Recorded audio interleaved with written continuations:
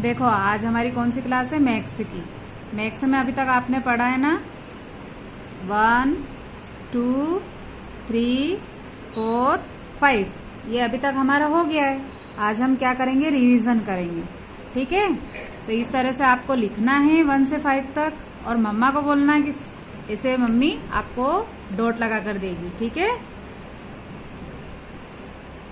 इसे सब सबने डॉट लगा ली, इसके बाद अब आपको लिखना है। देखो कैसे लिखना है, मैं आपको बताती हूँ। पहले हम लिखेंगे वन, उसके बाद लिखेंगे टू, फिर थ्री, फोर,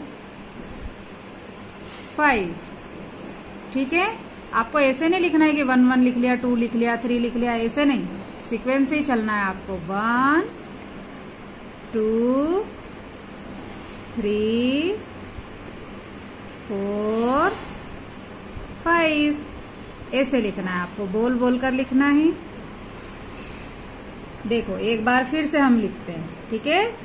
फिर से लिखेंगे one two three four five बार बार लिखोगे तो आपको अच्छे से याद हो जाएगा। देखो, मैडम ने कितनी बार लिखा है। काउंट करो। मैडम ने फाइव टाइम से लिखा है। तो आपको भी ऐसे फाइव टाइम्स पूरा पेज भरकर लिखना है। ठीक है?